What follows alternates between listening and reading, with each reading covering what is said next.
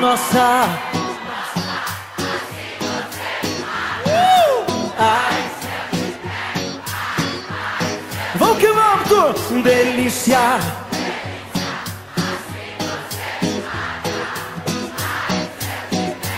Ai, ai, se eu te pego, hein?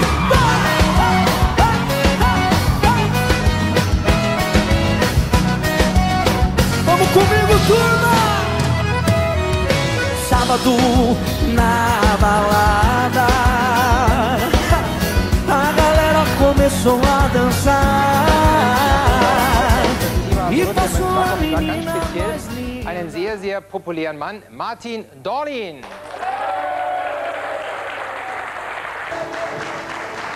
So, gleich werden wir unseren äh, dritten Kandidaten kennenlernen. Zunächst wollen wir Sie ein bisschen informieren über sein Spezialgebiet.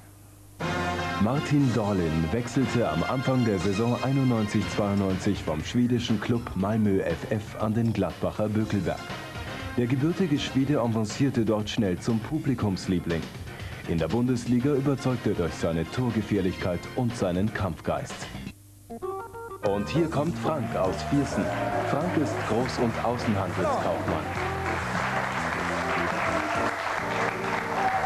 Du bist ja noch äh, richtig im Fußballgeschäft drin, habe ich gehört. Du trainierst eine äh, C-Jugendmannschaft Das ist richtig, ja. Seit sechs Jahren. und macht Spaß mit den Macht super Spaß, ne? ja. Es ist zwar zeitaufwendig, aber macht riesigen Spaß. Sind da so ein bisschen Talente zu entdecken, wie es ein Martin Dorlin Ja, Ist- es ist schwer auf dem Dorf, im Dorfverein und ähm, ein, zwei haben schon den Sprung geschafft, aber die sind eigentlich alle ganz gut. Wie ist denn das? Ist man da so äh, offiziell Zulieferer, ich sag mal jetzt in, in Viersen oder wo immer, äh, für die großen Gladbacher oder so? Kommen die denn schon mit ihren Spähern und gucken da bei den, bei den 12-, 13-, 14-Jährigen, ob da vielleicht was. Äh, Ja, es äh, sind immer. Beobachter schon mal da und äh, wie gesagt, ein, zwei Kinder, die wollen natürlich immer zu ihrem Lieblingsclub hin und das kann man denen auch nicht verübeln, weil wo ich selber so alt war, hat man auch immer dann gedacht, denke ich mal. träumen von der ganz großen Ja. Karriere als Profifußballer, von den vielen Millionen, Ja, die man verdienen kann. Ne?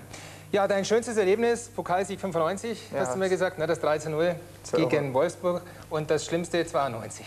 Ja, es war der absolute Gegensatz gegen Hannover. Hatte keiner mit gerechnet und alle waren schon am Feiern und hat man noch verloren und es war sehr bitter. Ja. Ja, Elfmeterschießen, grauenvolle Geschichte. Ne? Sehr Ach, grauenvoll. sehr gut, sehr gut. Okay, ich hoffe, du kriegst jetzt jede Menge Punkte. Frage A. Wie viele Bundesligaspiele bestritt Martin Dorlin für Borussia Mönchengladbach in seiner ersten Saison? Zwölf Spiele. Richtig.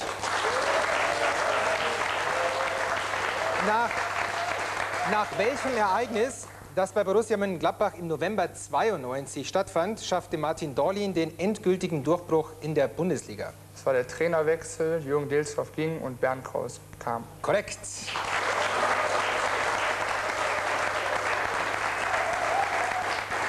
Bin gespannt, ob du die Frage 3 auch richtig beantworten kannst. Zu welchem schwedischen Tennisprofi, mit dem er befreundet ist, hat er auch heute noch einen ganz intensiven Kontakt? Mats Wielander? Nein, es ist Michael Pernfors. Okay. Frank, bitte, geh nach oben.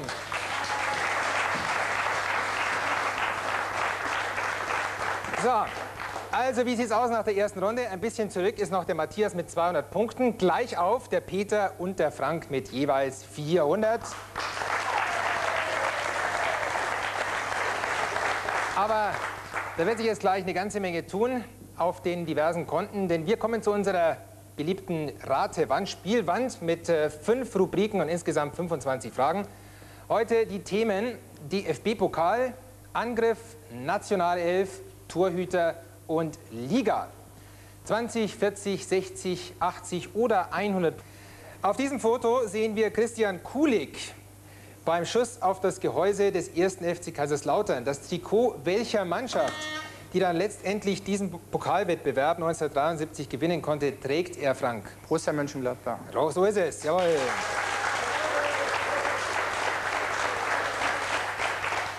Frank, Torhüter 80.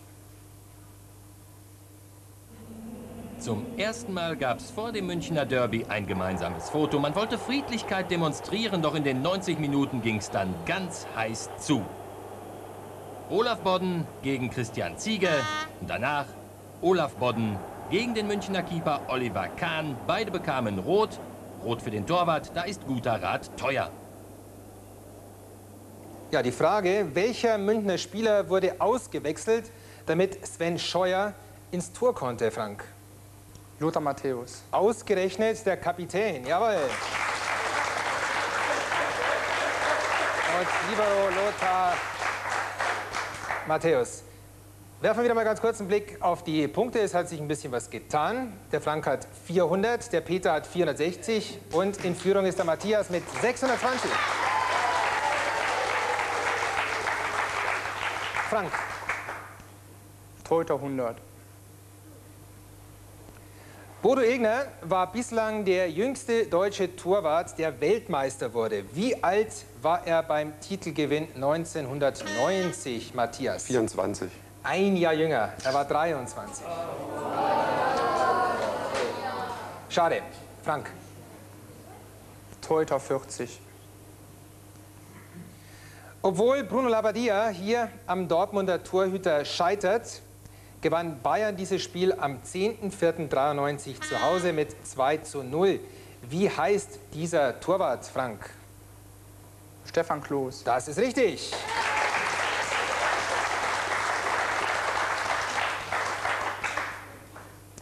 Frank, du bleibst am Ball. Torhüter 60. Ja, Mönchengladbach, sehr schönes Thema. Frank, komm zu mir.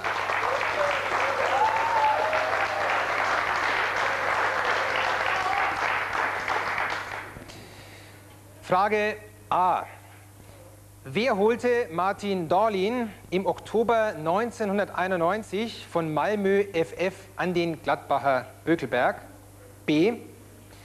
In welches Land verlegte er damals aus steuerlichen Gründen seinen Wohnsitz? Und C.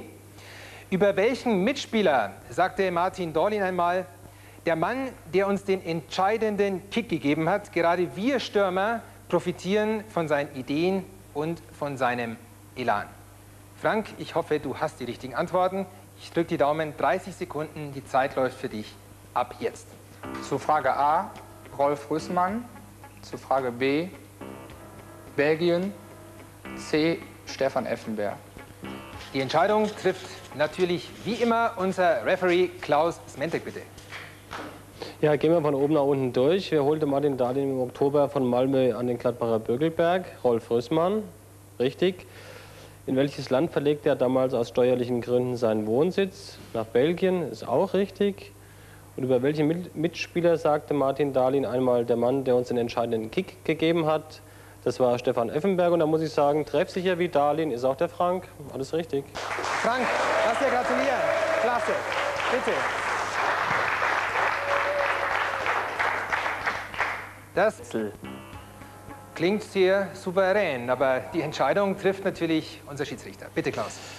Ja, der FC Altona sagen die München im Halbfinale in die Verlängerung. Dieser Verein spielte in der Regionalliga, nicht in der zweiten Liga, die gab es nämlich damals noch nicht. Wobei ich sagen würde, wenn wir kulant sind, könnten wir es gelten lassen. Ich würde sagen, wir lassen es gelten. Der Spieler, der sich gegen Frankfurt eine Oberschenkelverletzung zugezogen hat und trotzdem weiterspielte, das war der Rudi Steiner, also auch völlig richtig. Und da er bei dem Präsidenten auch den Vornamen noch gewusst hat, Adelbert Wetzel, denke ich, geht das okay so. Wunderbar, Peter, lass dir gratulieren. Kapitänsamt. Matthias, alles Gute auch für dich. Die Zeit läuft, 30 Sekunden ab jetzt. Zu Frage C 1976, zu Frage B und zu Frage A.